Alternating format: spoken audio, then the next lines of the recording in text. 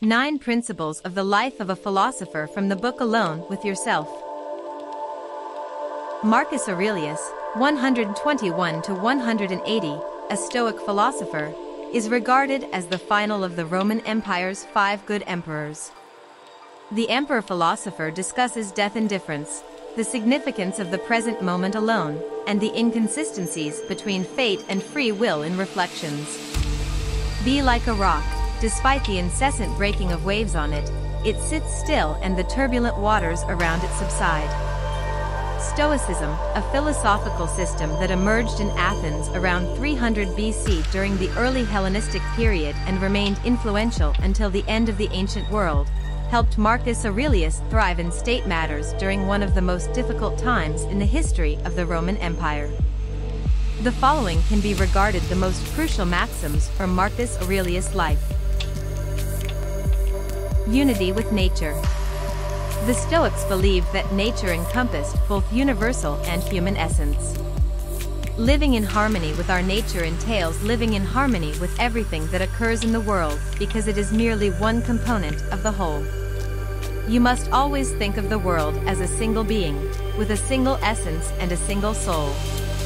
Think about how it all comes down to his own single sensation, how he creates everything with a single desire, how everything contributes to the emergence of everything, which is connected and consistent in everything. Indifference to death, ease of transience. Go through one by one and those whom you personally knew, one bury one, the other, the other, and then they die themselves, and all this for a short period of time. In general, one should look at everything human as fleeting and short-lived, that which was yesterday still in its infancy, tomorrow is a mummy or dust. So, spend this moment of time in harmony with nature, and then part with life as easily as a ripened olive falls, praising the nature that gave birth to it, and with thanks to the tree that produced it. Fidelity to one's activities, work of life, virtue.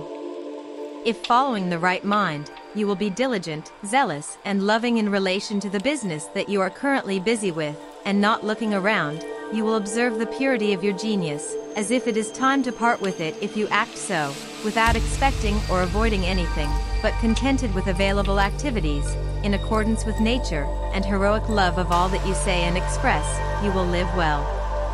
And no one can stop it.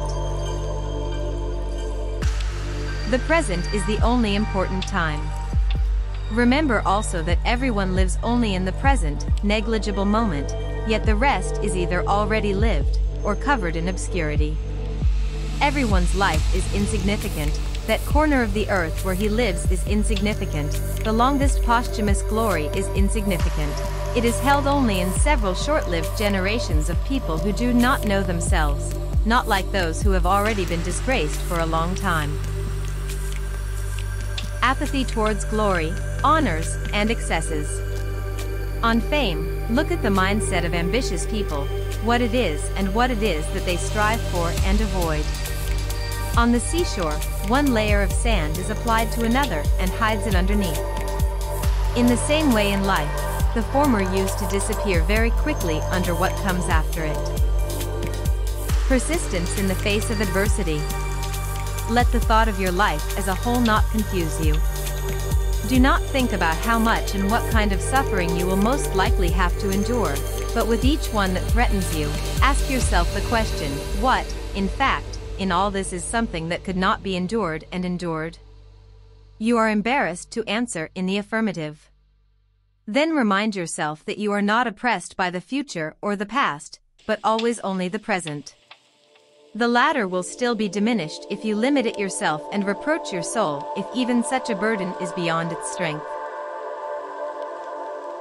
Tolerance of other people's vices, but rejection of their own. In the morning I should say to myself, today I'll have to face people who are obsessive, ungrateful, arrogant, insidious, envious, uninviting. They owe all these properties to ignorance of good and evil. But after knowing the nature of good, it is beautiful, and the nature of evil, it is shameful, and the nature of the most mistaken, he is not my native blood and common origin, but in spirit and divine determination, I cannot but suffer harm from none of them, after all, no one can draw me into something shameful, either be angry at my native nor hate him. For we are created for joint activity, like the legs, arms, eyelids, upper and lower jaws. Therefore, to oppose each other is contrary to nature, but to annoy people and to be alien to them means to oppose them. Solitude is an important part of life. But man does it wrong. People seek solitude, they seek peace in the countryside, on the seashores, in the mountains. And you are also used to wanting this most of all. All this, however, speaks only of extreme ignorance, for at any moment you can withdraw into yourself. After all, the quietest and serene place where a person can retire is his soul. In particular, a person who finds within himself that, having peered into what, he will immediately be filled with calm.